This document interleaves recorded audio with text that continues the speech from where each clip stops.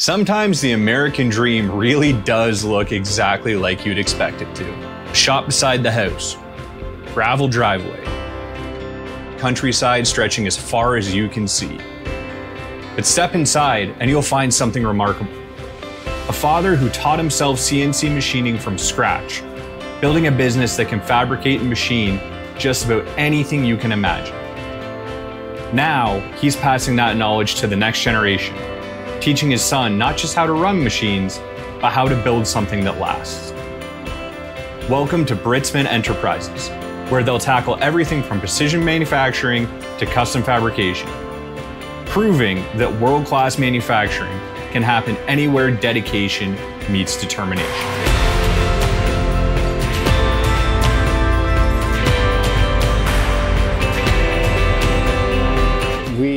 Started in the attached garage up there. Fabricating and welding was my core. That's what I went to school for. And machining is, is such a compliment to having that. And with the fabricating side, I was making a product at the time that I was selling on the internet. And that's why I bought that mill in the corner, that Tormach, to replace three manual mills that he was cranking handles on. Oh, really? So you guys were doing actual production on that? Yeah. What kind of product was it? You don't have to get specific, Um, replacement parts for corn stoves. okay. Sold my first business or sold my half in the first business and I took some time off and very left-handedly got started in this. I didn't have any intention of starting another business. And then you kind of fell into it. it just kind of happened organically. Um, once my customer base found out, oh, I have a CNC, well, can you do this? Can you do that? So then I bought another 1100M and great machines. I haven't had a problem with them. I mean, normal maintenance stuff, you know, uh, support's always been good. And um, then from there, what did we do? I think I got to 8L. We had some little parts we were R&D in. That's the turning center right here, right? Yeah, that's this little one.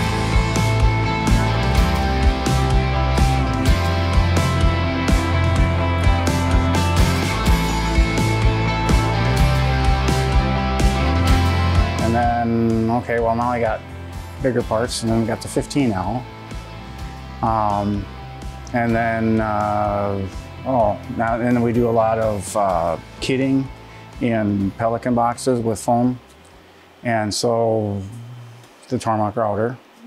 That, Oh, I didn't even realize that was that that over there. Yeah. we stock all different kinds of uh, foam, and then we machine the foam to put into these boxes. what kind of industries are you guys, you know, predominantly It's working in these days? mostly uh, commercial and industrial. Um, I have um, a customer in the next town over that that makes uh, animal feed, and we do a lot of repair components. We help them design maybe a new uh, drive system for one of their dryers, you know, things like that. Now, That's- you wouldn't even know it from the road, but you guys have one, two, three, four, technically five CNC machines in Yes. here. You also have a full rack of 3D printing and additive machining going on over there. three, four, five, six. Now, what's really interesting here is I go to a lot of places. You know, we have a, a small um, 3D printer in my place, but 90% of what I see people doing with 3D printing is I want to make some bins for my shop or I want to make some soft jaws. With the amount you have going there, I'm guessing that this is actually This is consumer production. parts or It's production for one of our customers. Production. Yeah. I don't It's see anybody doing that right of our now. This is just a small order here, but those are printing on a 10,000 part order. 10,000 parts. Now, you know, when you guys do onesie twosie stuff compared to doing 10,000 part orders, what kind of mix would that be? I mean, obviously, this is additive compared to mm-hmm. CNC machining, but like, what does a typical order look like? Can be anything. It's eh? anything. A typical order is anything. These are the, the high volume orders are maybe one or two of those a year. It's crazy you guys with. have that much business that you'll, you know, if you have the need for it, you'll buy multiple new printers, you'll buy a new machine. You guys are, this isn't a small shop. This is pretty much an enterprise running yeah, from a home yeah. business. Yeah, yeah, exactly. crazy. I mean, we have uh, let's see powder coat shop that we work with. We always, I mean, there's not a week goes by that we do not have something at the powder coater. Mm-hmm. The, the project I'm working on right now at the animal food place, I will draw up the parts. We're gonna, they'll make the kit of parts for us, So when I get the kit of parts, I can go down and we can install it in place. Well, it- this particular project, it has to get welded in place in the facility. And you'll do that as well. Yeah. yeah. It's great. I'm Just a, end to I'm a certified welder. I do pipe welding for one of our local uh, fuel fuel uh, piping contractors. You guys can literally handle anything. and I it's pretty much a tri-state area. I do Really? one or two of those every year too. Sometimes three or four. Now But I yeah. understand why you have such nice machinery in here. yeah. Um, and well, yeah, I mean, and we've done a lot of bootstrapping. Other thing is I hate borrowing money, so when we can buy it or at least borrow half, then you know, do Cash that business, way. that's the way I work too. I don't like paying the bank. Yeah, the interest is nuts. It's insane. Yeah. It's insane.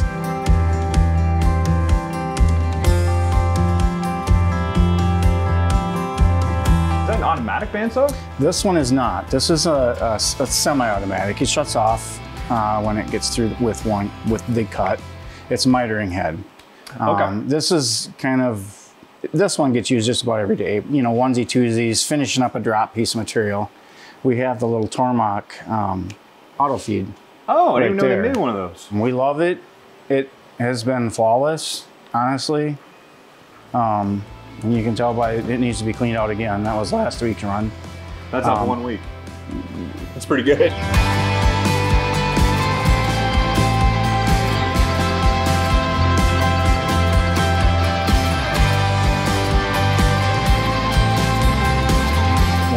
Got one project right now that, how many pieces? There's probably 500 or more pieces of laser cut aluminum that they cut out for us.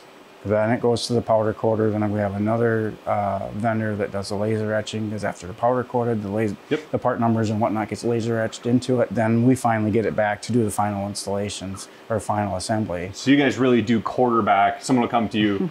75% of it's going to be outside. I, do- I do this too. Yeah. But you need to know the vendor on the outside. It's your relationship with them. Yeah. You guys are the quality control. And then you also are assembling. Yes. A lot of great Yeah. businesses do that. And it's a lot of brain power. But once you get that going, it, it works really well. Yes, and and we also hired uh, one of one of our vendors, also my age, getting closer to retirement. Uh, he's also uh, one of Dylan's college teachers, uh, instructors at Madison College. Uh, he's he's uh, on kind of on an as needed basis. We are able to hire him contractually, and Awesome. he helps me with quoting and some of the subcontractor management as well. I mean, it, it's just amazing. You know, basically, we've got uh, Mark, our gentleman in Reedsburg, and myself, and he's doing the production. you know, it's really kind of off balance that way, but there's so many subcontractors to, Yeah. To manage and keep everybody on the same, on the correct page.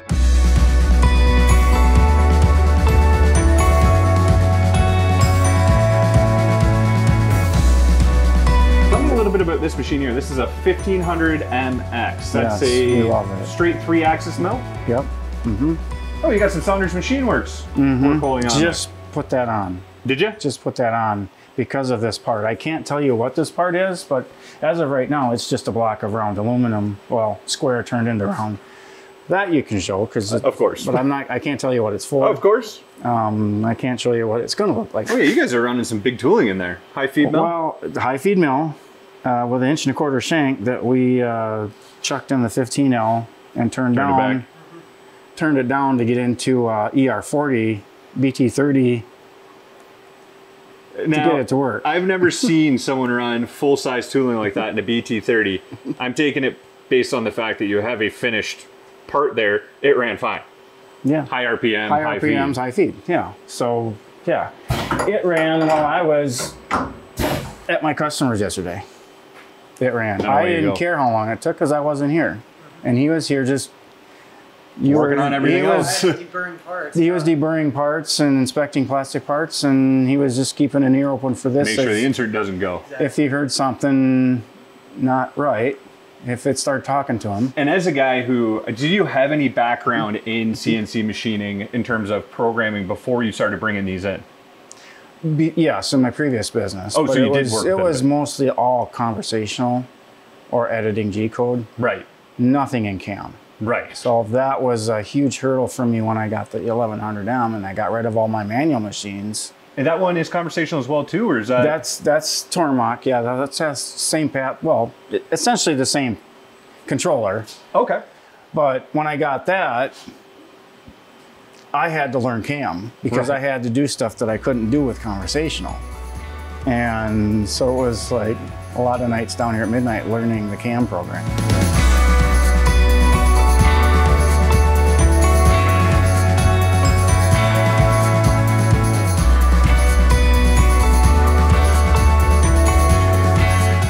Fourth axis for this, and we have one actually on that machine right now. For these two, you don't, if I remember correctly, it's not like for some of my machines, if you don't buy it with fourth axis enabled, you have to pay a lot of money to get it turned on. No. These ones, it's just a button or something, is it not? You well for you this, this one yeah. this one is pre-wired for it. We just have to put the drive in the back. Right.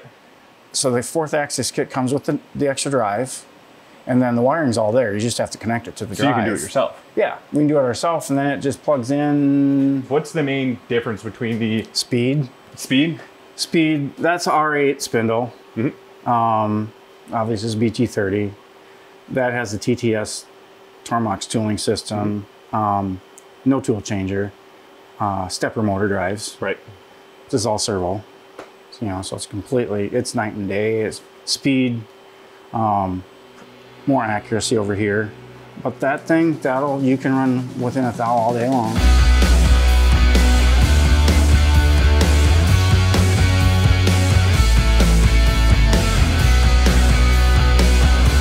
How many years were you in the industry before you bought these CNC machines? Gosh, I started, I went to uh, welding and fabricating tech school, and so I'm dating myself. So you've there. been in here a long time, and then you said, you know what, I'm going to teach myself this. I'm going to learn it, Yes. invest in it. Yeah. It's phenomenal. It's more people. People mm-hmm. seem to think that if you don't get into it early, that you're screwed. That's no, not the case. I, and I started with manual machines too. So right. you learn a lot from the feel. When you go from this to that, then and you're used to cranking handles, it's hard because you don't have that. You lose that The tactile. sense. Yeah. But you But still know. You pick it up by I always lay a hand on the machine, and I'm listening. You know exactly. Do you mind if we take a quick peek at this peek at this router?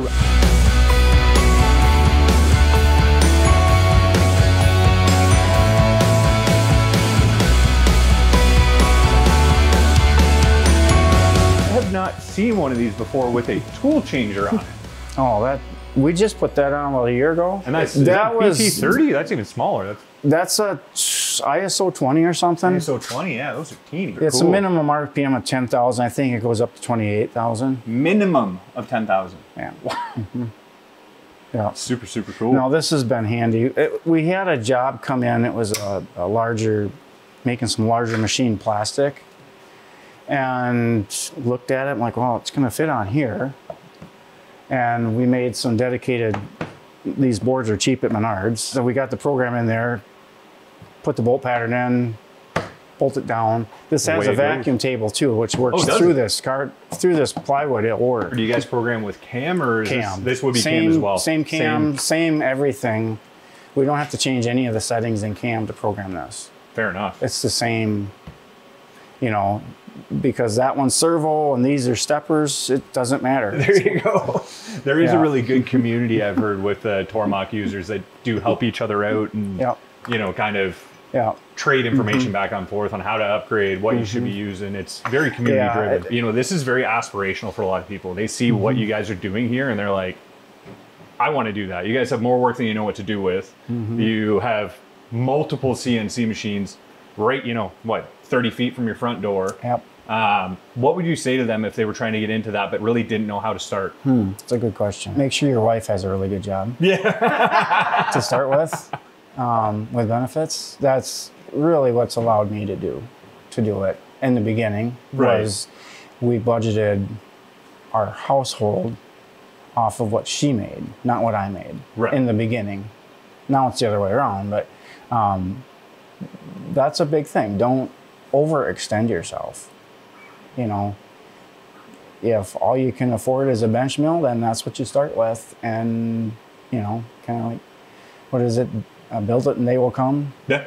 And that's that's basically you know, what we've done, we've been blessed with just happening to find the right customers, you know. But that just takes networking and years. It's it's been a whole lifetime for me. Right. It's my lifetime. I'm still doing some work for my first company I worked for. Oh, really? Not much here and there, some repair stuff. But But yeah, I mean, some of the guys I worked with there are still there 40 years ago. So it's just amazing. It, never burn a bridge. exactly, you can still leverage, even if you haven't started your shop, you can leverage your existing network from when you were working for someone Yeah. else into helping you get your business started. And that and that's exactly how I started the first business. I went back to the company uh, that I worked for in Minnesota and got work from them. Fair enough. And I mean, didn't burn a bridge, left on great terms, and yeah, I mean that Worked out. gave us some production stuff to start working to build your name locally.